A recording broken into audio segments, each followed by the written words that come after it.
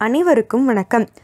இந்த சேனலில் இருக்க வீடியோவை நீங்கள் முதல் முறையாக பார்க்குறீங்க அப்படின்னா சிவனே துணை சேனலுக்கு மறக்காமல் சப்ஸ்கிரைப் பண்ணுங்கள் இந்த வீடியோ உங்களுக்கு பிடிச்சிருந்ததுன்னா லைக் பண்ணுங்கள் கமெண்ட் பண்ணுங்கள் உங்கள் ஃப்ரெண்ட்ஸ்க்கு ஷேர் பண்ணுங்கள் இந்த வீடியோவில் மேஷம் முதல் மீனம் வரையிலான பன்னிரண்டு ராசிக்காரர்களுக்கும் இந்த மார்ச் மாதம் தொழில் உத்தியோகம் கல்வி வேலைவாய்ப்பு என என்னென்ன பலன்கள் உள்ளது பற்றி தான் இந்த வீடியோவில் பார்க்க போகிறோம் தொடர்ந்து இந்த வீடியோவை ஸ்கிப் பண்ணாமல் பாருங்கள் மார்ச் மாதம் பனிக்காலம் முடிந்து வசந்த காலம் துவங்க போகிறது.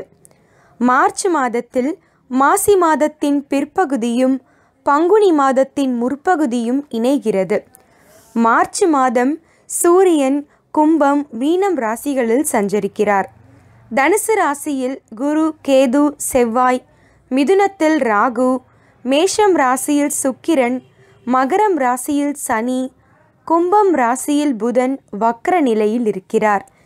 இந்த கிரகங்களின் சஞ்சாரம் ராசி மாற்றங்களினால் மேஷம் முதல் மீனம் வரையிலான பன்னிரண்டு ராசிகளுக்கும் என்ன பலன் கிடைக்கும் என்று பார்க்கலாம். கிரகங்கள் இந்த மாதம் ராசி மாற்றம் அடைகின்றன. மார்ச் பத்தாம் தேதி புதன் வக்ர நிவர்த்தி அடைந்து நேர்கதியில் சஞ்சரிக்கிறார். பதினான்காம் தேதி சூரியன் மீனம் ராசிக்கு மாறுகிறார். தனுசு ராசியில் குருவுடன் இருக்கும் செவ்வாய் இருபத்தி இரண்டாம் தேதி மகரம் ராசிக்கு மாறுகிறார். மாத பிற்பகுதியில் செவ்வாய் மகரம் ராசியில் உச்சம் பெற்று சனியோடு இணைகிறார். குரு மாத இறுதியில் அதிசாரமாக சஞ்சரித்து மகரம் ராசியில் உள்ள செவ்வாய் சனியோடு இணைகிறார். மாத இறுதியில் இருபத்தி எட்டாம் தேதி சுக்கிரன் ரிஷபம் ராசியில் ஆட்சி பெற்று அமரப்போகிறார். சூரியன் இடப்பெயர்ச்சி செவ்வாய் சனி சேர்க்கை கிரகங்களின் பார்வையால் சில ராசிக்காரர்களுக்கு நன்மையும் சிலருக்கு பாதிப்பும் ஏற்படும். குருவின் அதிசார சஞ்சாரமும் சில ராசிக்காரர்களுக்கு மாற்றங்களை ஏற்படுத்தும். மார்ச் பதினான்கு இரண்டாயிரத்தி இருபது அன்று சூரியன் கும்பராசியிலிருந்து மீனம் ராசிக்கு பெயர்கிறார். சுக்கிரன் இந்த மாதம் பெரும்பாலும் மேஷ ராசியில் சஞ்சரிப்பார். பிப்ரவரி பதினேழு இரண்டாயிரத்தி இருபது அன்று வக்ரகதி அடைந்த புதன் மார்ச் பத்து இரண்டாயிரத்தி இருபது அன்று வக்ரகதி முடிவடைந்து கும்ப ராசியில் சஞ்சரிப்பார். இந்த மாதம் முழுவதும் கும்ப ராசியில் சஞ்சரிப்பார். மார்ச் இருபத்தி இரண்டு இரண்டாயிரத்தி இருபது அன்று செவ்வாய் மகர ராசிக்கு பெயர்ந்து சனி பகவானோடு சஞ்சரிப்பார். சனி பகவான் மற்றும் செவ்வாய் இணைந்து சஞ்சரிப்பது இந்த மாதத்தின் ஒரு முக்கிய நிகழ்வாக கருதப்படுகிறது. ராகு மிதின ராசியிலும் கேது தனுசு ராசியிலும் இந்த மாதம் முழுவதும் சஞ்சரிப்பார்கள். சனி பகவான் இந்த மாதம் முழுவதும் மகர ராசியில் சஞ்சரிப்பார். குரு மார்ச் இருபத்தி ஒன்பது அன்று அதிசாரமாய் மகர ராசிக்கு பெயர்கிறார் இது ஒரு இயல்பான பயிற்சி அல்ல. குரு மற்றும் செவ்வாய் இணைந்து மகர ராசியில் சஞ்சரித்து குருமங்கள யோகத்தையும் நீசபங்க ராஜ யோகத்தையும் உண்டாக்குகின்றார்கள். குரு மற்றும் சனி பகவான் இணைந்து சஞ்சரித்து மற்றுமொரு நீசபங்க ராஜ யோகத்தை மார்ச் இருபத்தி ஒன்பது அன்று உண்டாக்குகின்றார்கள். இந்த மாதத்தின் இறுதியில் சனி பகவான் குரு மற்றும் செவ்வாய் இணைந்து குறிப்பிடத்தக்க மாற்றங்களை உலக அரசியல் உலகத்தில் இருக்கும் தலைவர்கள் குறித்த விஷயங்கள் மற்றும் பொருளாதார அரசியல்களில் உண்டாக்குவார்கள். மேலும் இந்த சஞ்சாரத்தால் பங்கு சந்தையிலும் சில திருத்தங்களும் இழப்பு மற்றும் தாக்கங்களும் ஏற்படக்கூடும். மார்ச் இருபத்தி இரண்டு முதல் பதவியிலிருந்து கொண்டு ஊழல் செய்தவர்கள் அதிக சவால் நிறைந்த காலகட்டத்தை சந்திப்பார்கள். கடகராசி நேர்களே கடகராசிக்கு இந்த மார்ச் மாதம் மாற்றங்கள் நடைபெறும். எட்டில் சூரியன் சஞ்சாரம் நிதானம் தேவை. பதினான்காம் தேதிக்கு மேல் சூரியன் ஒன்பதாம் வீட்டிற்கு செல்கிறார். பண வருமானம் அதிகமாகும். வெளிநாட்டு கல்வி யோகம் வரும். பத்தில் சுக்கிரன் சுகமான வாழ்க்கை அமையும். வண்டி வாகன யோகம் அமையும். செவ்வாய் ஆறாம் வீட்டில் இருக்கிறார். இருபத்தி இரண்டாம் தேதி மகரம் ராசியில் சனியோடு ஏழாம் வீட்டில் இணைகிறார். முப்பதாம் தேதி குரு சனி செவ்வாயுடன் இணைகிறார்.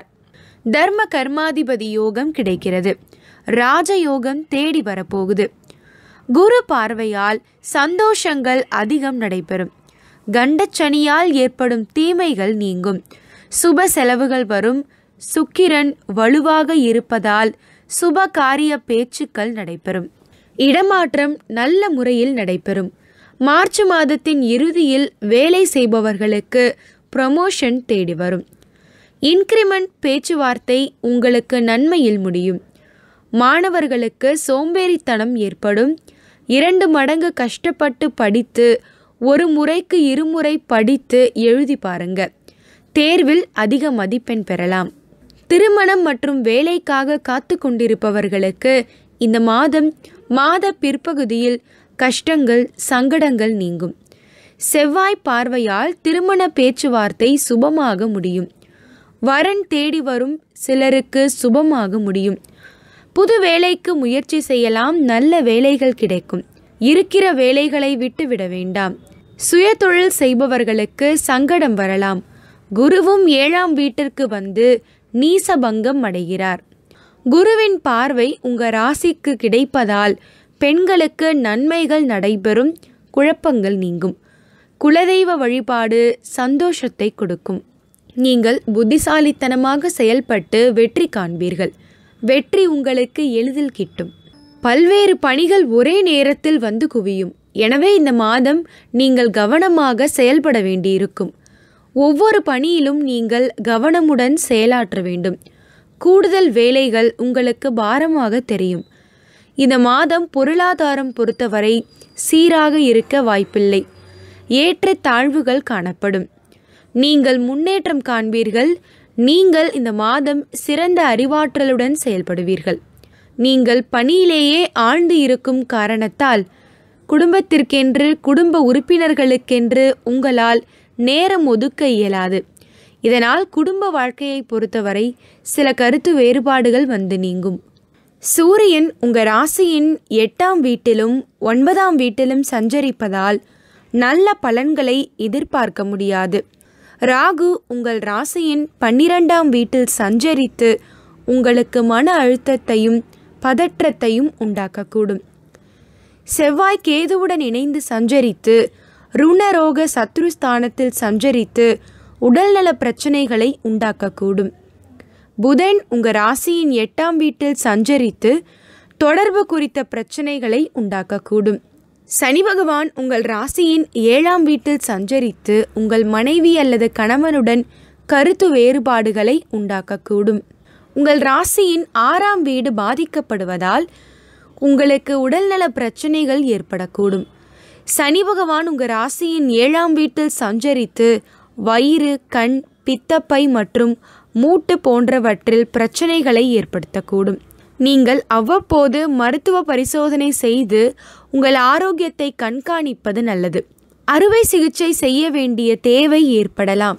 இந்த மாதம் உங்கள் பெற்றோர்களின் உடல்நலத்தின் மீது அதிக கவனம் தேவை. ஒரு சில சமயம் நீங்கள் மருத்துவமனைக்கு செல்ல வேண்டிய சூழல் உண்டாகலாம். ஞாயிறு தோறும் ஆதித்ய ஹிருதயம் கேட்பது நல்லது.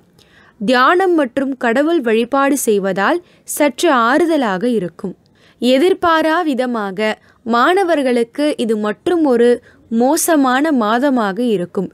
உங்களால் படிப்பில் கவனம் செலுத்த முடியாமல் போகலாம். உங்கள் நண்பர்களுடன் அதிக உடைமையோடு இருக்க நினைப்பீர்கள். இதனால் உங்கள் மன நிம்மதி பாதிக்கக்கூடும்.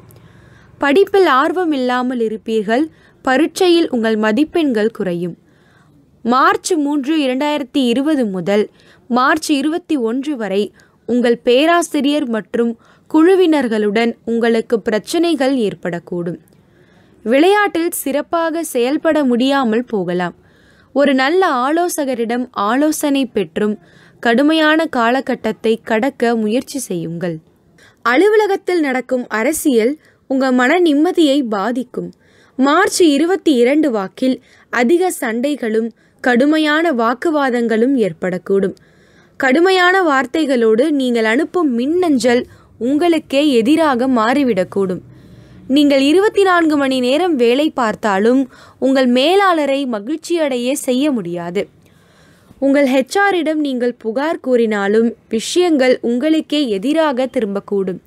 இதனால் நீங்கள் உங்கள் உத்தியோகத்தை இழக்கும் சூழல் உண்டாகலாம். பதவி உயர்வோ சம்பள உயர்வையோ எதிர்பார்க்க இது சரியான நேரமில்லை. தற்போது இருக்கும் நிலையிலே உங்களை தக்க வைத்து கொள்ள முயற்சிப்பது நல்லது. நீங்கள் உங்கள் உத்தியோகத்தை இழந்திருந்தால் மார்ச் இருபத்தி ஒன்பது முதல் நேர்காணலுக்கு செல்ல உங்களை தயார் செய்து கொள்ளலாம். மார்ச் இருபத்தி இரண்டு வாக்கில் உங்கள் பிரச்சனை மிக அதிகமான அளவை தொடும். கண்டக சனியாக தாக்கத்தை மார்ச் இருபத்தி ஒன்பது வரை உணருவீர்கள். மார்ச் முப்பதுக்கு மேல் நல்ல மாற்றங்களை காண்பீர்கள். செவ்வாய் மற்றும் வியாழக்கிழமைகளில் அசைவ உணவை தவிர்ப்பது நல்லது. ஏகாதசி மற்றும் அமாவாசை நாட்களில் விரதம் இருப்பது. பௌர்ணமி நாட்களில் சத்யாநாராயண விரதம் இருப்பது நல்லது.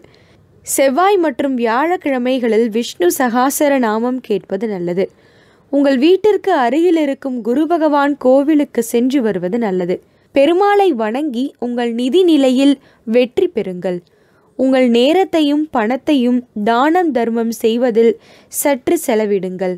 என்ன நேர்களே உங்கள் ராசிக்கான மார்ச் மாத ராசி பலன்களை பார்த்தீங்களா? இந்த வீடியோ உங்களுக்கு பிடிச்சிருந்ததுன்னா லைக் பண்ணுங்கள் கமெண்ட் பண்ணுங்கள் உங்கள் ஃப்ரெண்ட்ஸ்க்கு ஷேர் பண்ணுங்கள் மறக்காமல் சப்ஸ்கிரைப் பண்ணுங்கள் மேலும் இது போன்ற ஆன்மீக தகவல்கள் உங்களுக்கு தேவைப்பட்டால் கமெண்ட் செக்ஷனில் கமெண்ட் பண்ணுங்கள் நன்றி.